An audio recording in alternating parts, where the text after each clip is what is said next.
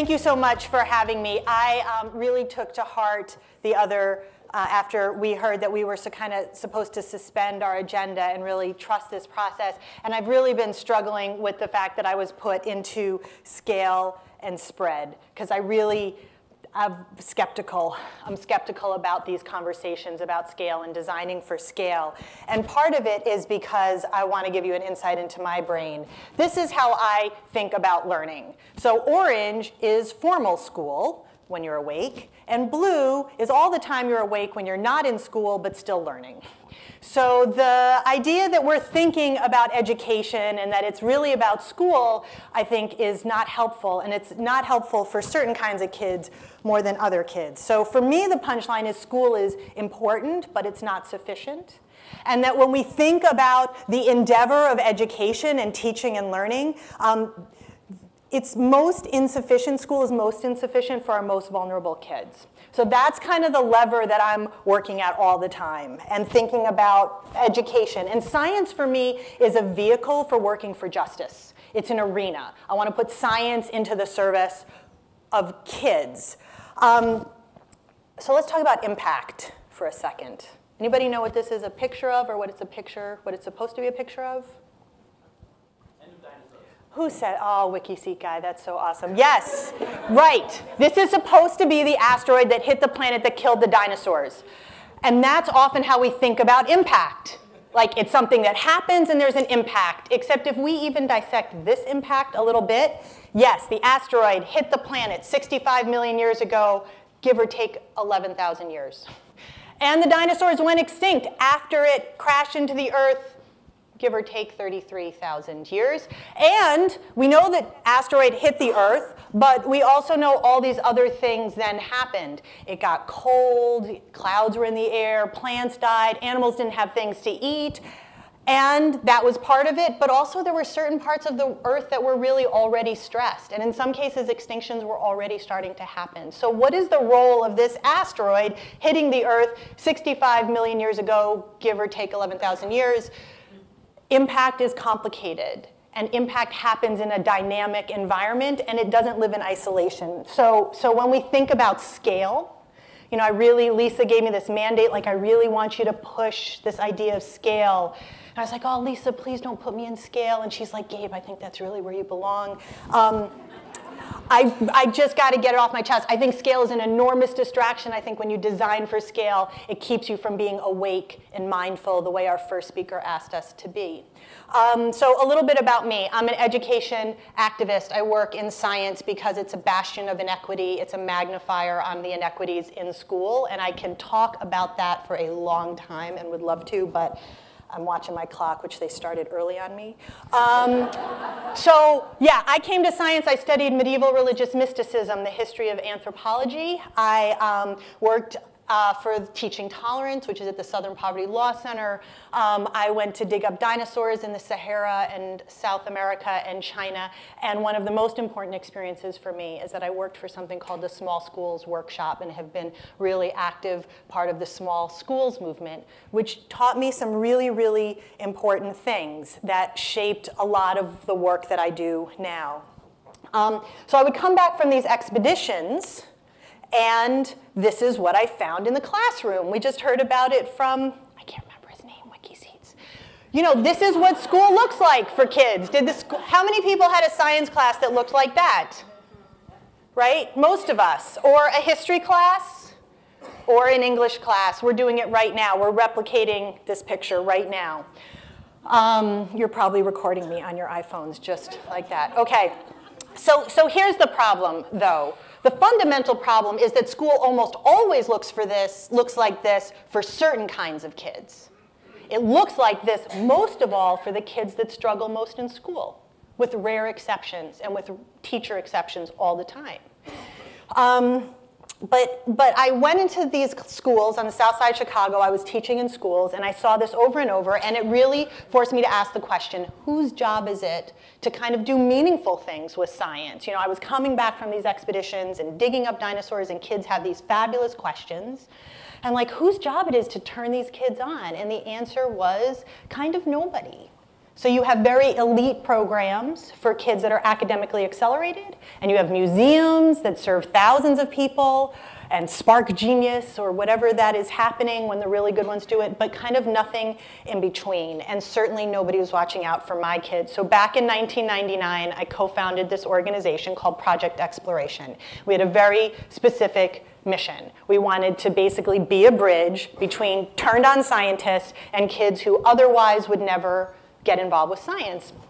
And you know, when we talk about minorities in science, I really want to encourage us to be looking at economics as well as academics and not just whether or not they're African American or minority or girls, which is also an important way to think about this. Um, so, so when we started Project Exploration, I, I actually wanted to, to articulate the design parameters because this is what I opened the door with. This was the things that I thought was important on the first day when we ran our first after school program called Sisters for Science, which was named that afternoon by the girls. Because these are still the design parameters, even though a lot of other things have changed. Um, students should be known, literally, their names. You should know them for what they're curious about, what they like to do, what they're interested in. And that learning is based on relationships. Relationships imply responsibility. It's a two-way street. Meaningful work matters. Actually, Larry the other day said that up here. And that students can and should co-create curriculum. That's what happened in WikiSeats. Those kids were co-creating the curriculum. The other thing is everything about our programs at Project Exploration begin with this question of what's worth knowing and experiencing. And I'll tell you, we almost never, ever, ever think that what's most worth knowing and experiencing is going to scale. It's just not at the heart of the matter when it comes to education. And I'm going to get to that again. Um, this is the question we ask kids to answer all the time. And because the relationships are a two-way street, we're constantly asking kids, what do you think? What should we do? What's most worthwhile? So I don't have time to talk about all of the different programs. So this is just like a little snapshot. We have junior paleontologists. Uh, they go out and dig up dinosaurs. We have all-girls expedition. They go to Yellowstone and work with field conservation biologists. We do urban ecology. We do geology. We do forensics with the FBI. We create crime scenes. We do coding. We do a lot of engineering, more and more engineering. The students love engineering. It's opening a whole new world to us. Um, but our goals are the following. We want to get them interested in science. We want to keep them involved. And we want to equip them with the experiences that will let them choose to pursue science if they want to. But we're not trying to make scientists. Um, all of the students do structured reading and writing. They create projects. There's a showcase of knowledge.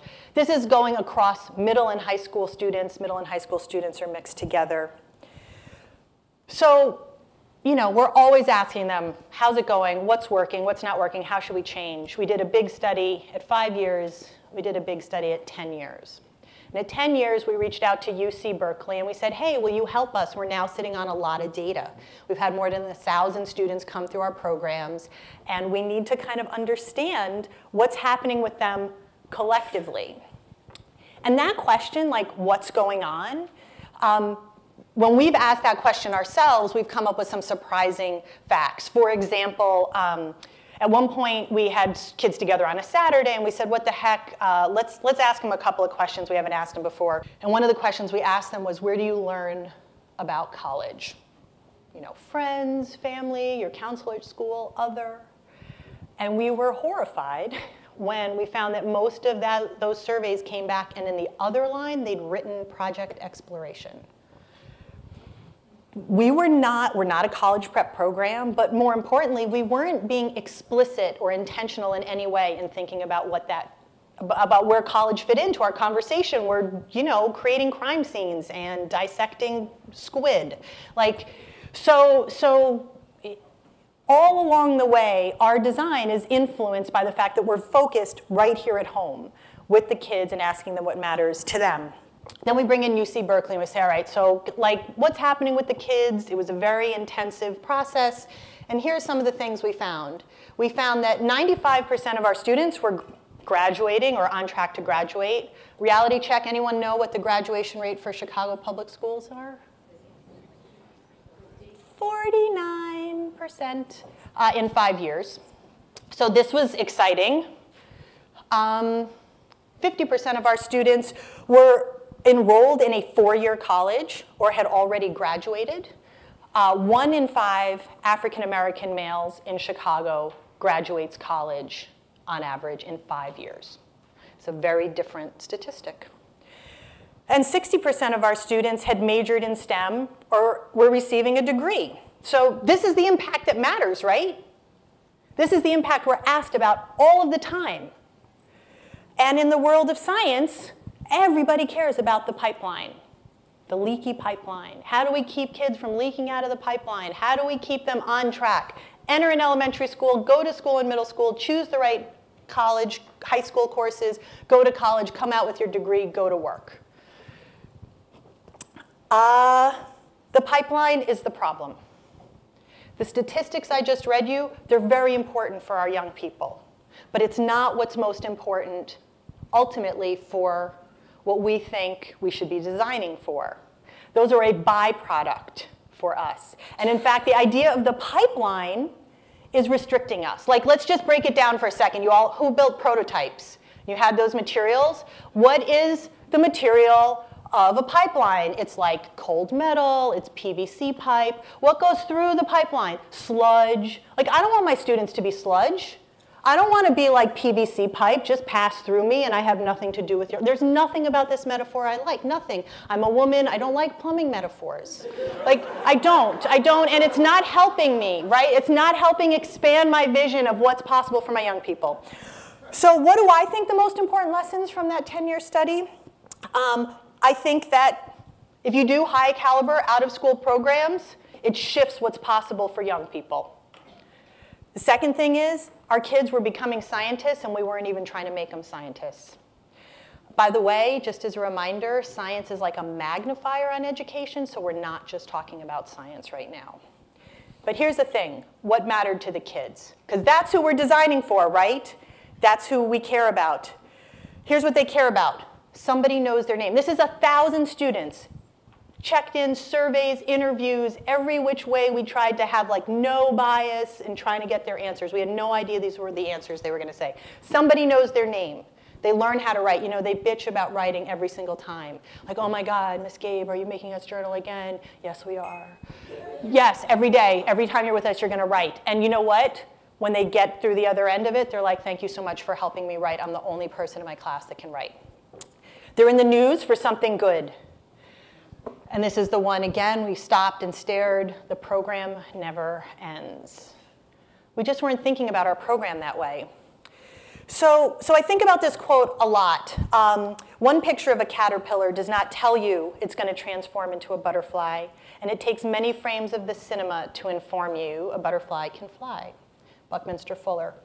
You know, if we were just looking at short-term design or we were focused on scale, we wouldn't know that Edna Angelis was going to be a scientific illustrator, even though she's in the country as an undocumented immigrant, that Lauren would go into communications, that Kendra would become a nurse, that Alora would open up her own hair salon, that Justin would want to be a comedian, that Andres, who's in the lower, uh, lower corner there, would become one of a handful of masters in geologies who are Latinos. So here's the issue. How do you actually design for a program that never ends? What, what, what is that going to do for us? How does that change how we think about things? And I think this is, this is why, Miriam, it took me so long to get you the slides. I've been struggling with this. So I got them to her. She's been very patient.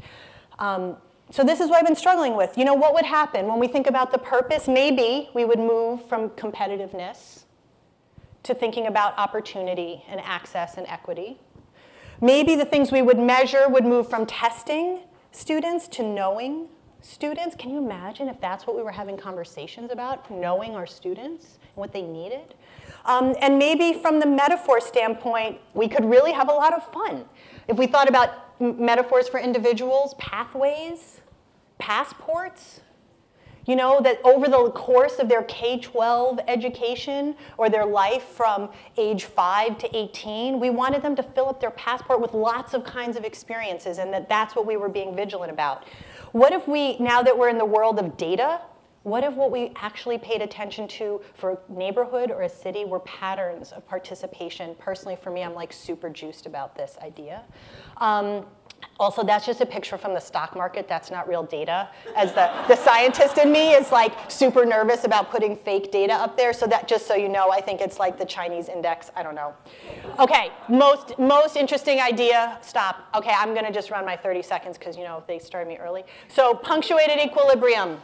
All right, so for the science geeks in us, you know that the idea about evolution is like change through time. And everybody wants our students to be about gradual evolution. Walk down through your grades, evolve at the same pace, develop, get ready, graduate high school, go to college. But you know what? Kids' lives, the most vulnerable kids' lives, have moments where they're off the grid for a little while. Life intervenes. They have a kid, they're in the justice system, they move, all kinds of things happen.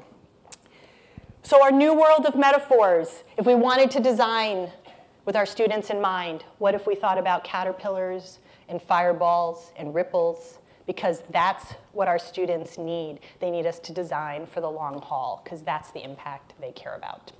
Thank you.